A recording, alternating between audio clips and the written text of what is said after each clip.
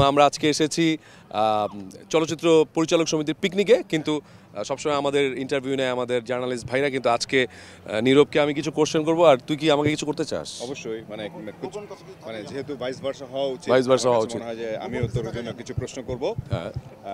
প্রথম কোশ্চেন কি তোর? বল। প্রথম কোশ্চেন আমার কাছে মনে হয় যে আমি অনেকদিন পরে পিকনিকে এসে খুব ভালো লাগছে। তোর কেমন লাগছে? তোর মানে ফিলিংসটা কি? আমি ভাষা হারিয়ে ফেলেছি। আসলে সত্যি কথা বলতে এত মানুষ আর পিকনিকটা যেহেতু হচ্ছে ফিল্ম সিটিতে যদিও এখানে আসা হয় না একদমই আমাদের এই পিকনিকের সময় শুধু আসা হয় বাট ভালো লাগছে যে ফিল্ম সিটিতে পিকনিক তোর কেমন লাগছে আমার কাছে খুবই ভালো লাগছে এবং সবচেয়ে আমরা তো বেশ কয়েকটা স্টেপ আছে তার মধ্যে একটা স্টেপ হচ্ছে খাওয়া দাওয়ার যে স্টেপটা দুপুরে লাঞ্চ করা লাঞ্চটা হ্যাঁ। আচ্ছা, খাবারটা কেমন ছিল? হ্যাঁ। খুবই অসাধারণ না ওই জন্য কথাটা তুললাম যে প্রথমে স্টেপের যেটা শেষ করলাম সেটা হচ্ছে খাওয়া দাওয়াটা খুবই অসাধারণ ছিল। ডেজার্টটা খুব ভালো ছিল ডেজার্ট এবং বিফটা অনেক ভালো ছিল মানে এই যে দিঘির সাথে এত পারফরমেন্স মানে এত মাঝখানে একটা মিউজিক ভিডিও দেখলাম। হ্যাঁ, আমার কাছে মনে হয় যে তোদের আরও কাজ করা উচিত এবং সিনেমা করা উচিত। সিনেমা করতেছিস না কেন?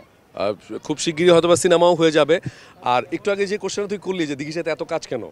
আমিও আমি বললাম যে আমরা কিন্তু কয়েকটা কাজ পরপর করে ফেলছি। ও বলল যে আমি আসলে নীরব ভাইয়ের সাথে মাঝখানে অনেক বেশি কাজ করেছিলাম। তো এখন আবার তোমার সাথে কাজ করব। আবার তোমারটা শেষ করে আবার ওর কাজ যাব।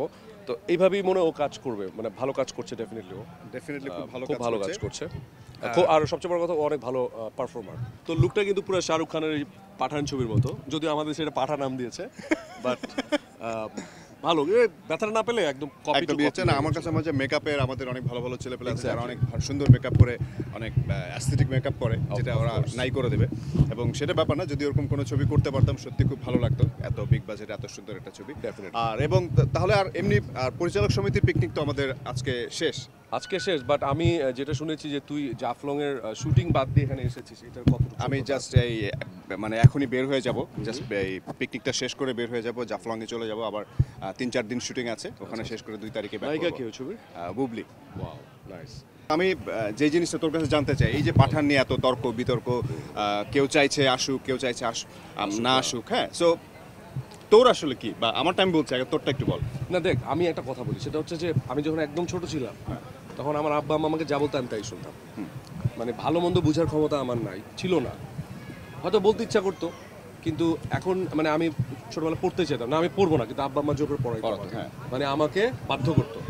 তো এখন আমার কাছে যেটা মনে হয়েছে আমাদের তো উনিশটা সংগঠন আছে এফডিসিতে। তো এখন আমাদের তো অনেক মানে আমি যদি এখন না করি বা হ্যাঁ করি আমার কথা আসলে কিছুই আসবে যাবে না।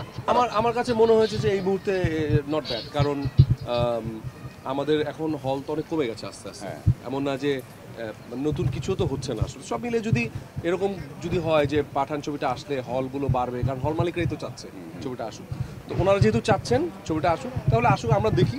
আমরা ছয় মাস দেখি এক বছর দেখি। তারপর তো আরেকটা না নিশ্চয়ই আমার কাছে তাই মনে হয়। আমার কাছে মনে হয় যে আসলে ছবি দেখার প্র্যাকটিসটাও হওয়া Practice-টাও হবে। সবাই হলে আসার প্র্যাকটিসটাও দরকার। আস্তে আস্তে আমরা হয়তো এত বিগ বাজেটের ছবি করতে পারব। কত বছর পর তা জানি না। আমরা জানি না।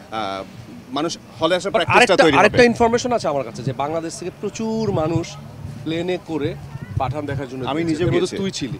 তো আমার কথা এত টাকা খরচ করে আমরা কেন যাব? আমরা ওই? টাকাটা দেশেই দেই। আমরা আমাদের সিনেপ্লেক্সগুলোকে আমরা। সাপোর্ট দিই দ্যাটস ইট অ্যাপ্রিশিয়েট করি।